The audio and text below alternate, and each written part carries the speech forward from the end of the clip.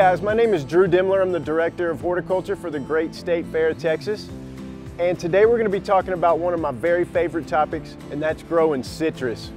I've been growing citrus here in Texas for a very, very long time. And believe it or not, it's one of the easier fruit trees that you can grow in our area. But there are a few things you need to know to have success. So we're gonna pass along some tips here for you today on how to grow them properly. Today we're in the outside section of the Big Tex Urban Farms, right next to that beautiful Ferris wheel, where we do still grow a lot outdoors. And we're here, right here by my collection of citrus trees. Um, these are youngish trees, but this year they are putting on a heck of a good harvest. These trees are loaded. Um, and they've been, we've already been donating them here in the local community and it looks like we're gonna have some for the rest of the year for donation, which is gonna be a lot of fun. As I mentioned, these trees are very easy to grow, but there is one important thing that you're gonna need to plan for.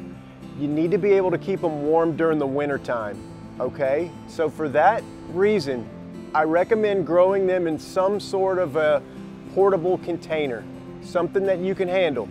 Um, what we do out here, we actually use our grow boxes, okay? Um, this is how we started everything with the farm, all outdoors in these grow boxes and we're able to forklift these up, pick these up with a forklift, and then bring them into my cold frames and greenhouses during the winter months. At home, you don't need to do all that. I recommend starting your trees in some kind of a easy to handle plastic container. It can be something decorative. It could be something as simple as a black nursery pot. Um, then I recommend planting your trees in a good potting soil mixture. That's important. Um, and again, I don't like to let my trees get much below 25 degrees or so. Anything lower than that and it's time for them to be moved indoors. Anything mildly around freezing, no problem. You know, even in the 30s, 29 degrees, not gonna cause an issue. You get into the mid to low 20s, it's time to protect. What I recommend is either bringing them inside of the house or into a garage. Again, you don't need to be that warm. So in most cases, you just bring them inside of a garage and that's gonna be great. I actually have a, a, type of orange called a Satsuma that I've had in the same black nursery pot, a 15 gallon pot for over 15 years now, and it still gives me a ton of fruit. It's got a great crop on it this year. Many times during those years, we would get some freezing weather before the fruit was ripe. And what I would do is bring it inside my house and set it into a sunny window and all of that fruit would go ahead and ripen uh, inside the house, and that's fine. You can do that with most citrus trees. Um, once the fruit is, is developed, um, it doesn't need a lot of heat and a lot of light to, to, to finish ripening, and they'll ripen indoors quite well. Here at the farm, we grow limes, we grow lemons, we grow a few different types of what are called mandarin oranges, which are similar to, you know, traditional oranges, but they peel real easy. Um, and they come in many different shapes and sizes and also in taste variations. Um, they're one of my favorites to grow. All of them do really well. I do recommend getting them on a pretty regular watering schedule, uh, especially during our summer months. Most of them will probably need water at least every other day, if not every day, during the worst part of the summer. Um, getting them on some kind of a regular fertilizing regimen is a good idea starting in springtime. I always recommend the slow release granular fertilizers. You can do it organic or you can use something, a, a synthetic like Osmocote. The choice is yours. Any of that works well. I think those are just more consistent and easier for the grower. You don't have to be out there mixing up, you know, liquid products and having to continuously do that. And that's really all there is to know, or most of what you need to know about growing citrus. They grow so well in this area. They do well in the heat and humidity, no problem. It's actually one of the fruits that the animals don't favor. Um, I have had a few bird pecks on some of my limes through the years and occasionally on an orange, but the squirrels don't even like them. And this is one of the few and only fruits I can think of that I can say that about. If you follow along with me, I want to give you a closer look at some of the trees that we're growing and point out a couple of other things you can do with your trees as well. So this is one of the trees I want to show you. This is a Meyer's lemon. and it's one of my favorite varieties of citrus to grow. As you can see, this one is getting really close to ripe. Um, and we'll talk in a few minutes about what ripens when, when in regards to citrus. But uh, the lemons are kind of a, a, little bit sweet for a lemon. Still has that classic tartness that you're that you're used to. The zest is very useful.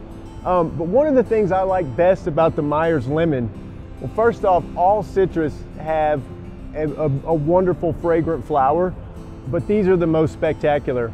They seem to be twice as large as some of the other citrus varieties and they just have an incredible fragrance. Another thing that's really cool about them is that they're one of the only citrus that will continue to flower throughout the season.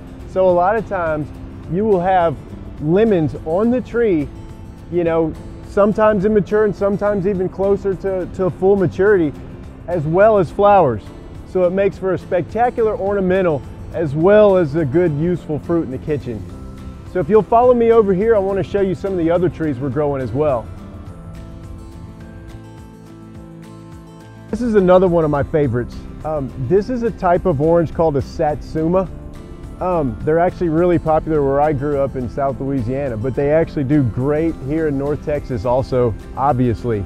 Um, they're one of the more cold hardy citrus varieties. Um, you'll hear reports of, of people taking these down you know, into the low 20s and then surviving just fine. I don't take a chance again. Um, I protect them when it gets that cold, but these little trees are amazing. Um, they grow more of a shrub-like, um, and they always have this kind of weeping characteristic because they will load up so heavily with fruit. It's hard to believe that the branches don't just snap, um, but they're amazingly strong. And I mean, each of these fruits probably weighs, you know, a quarter of a pound. Um, they get quite sizable. They're a little bit different than normal oranges, okay? Um, they they're much sweeter, and because of that, children really seem to enjoy them. And the other thing that they're well known for is that they peel super easily.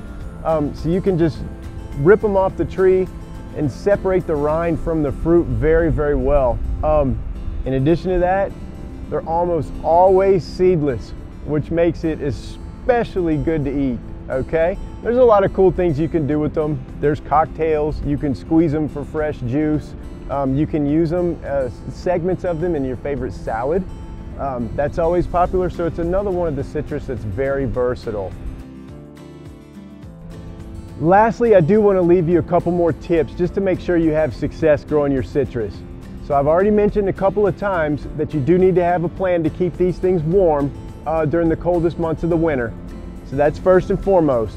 Um, but there are a couple of insect pests that can occasionally become a problem, though not as frequent as with other uh, garden plants.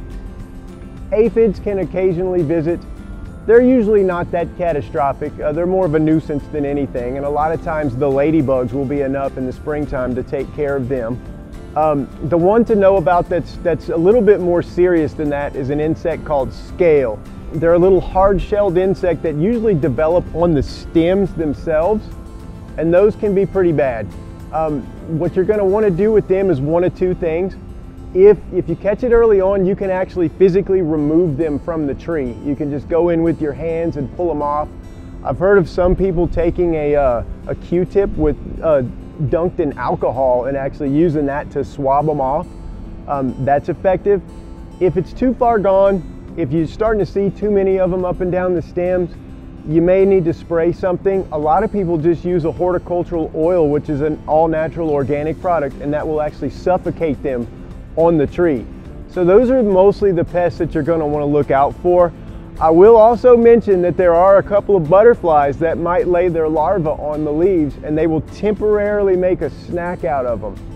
You'll see them eating holes in the leaves and they have these big colorful looking caterpillars I don't let that bother me. I've never had them damage my tree or my crop. I let them do their thing, let them go become a cocoon and then a beautiful butterfly. I've never had an issue with that. If you're concerned, that's up to you. You can always pull them off, you can remove them or, or treat them as, as you deem necessary. I did mention briefly, uh, you do need to get them on a regular water schedule once you move them outdoors in the springtime. Um, every couple of days during the spring. Once it's summertime, just pay close attention every other day, maybe every day, depending on the containers. Um, and a little bit of fertilizer.